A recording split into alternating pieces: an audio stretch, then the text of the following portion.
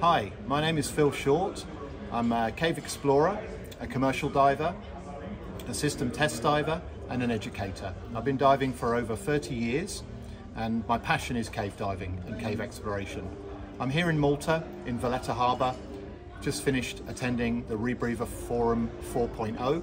There's been some absolutely amazing discussions and workshops about the future of rebreathers and rebreather safety and I'm really looking forward to coming to diving talks in Portugal in October.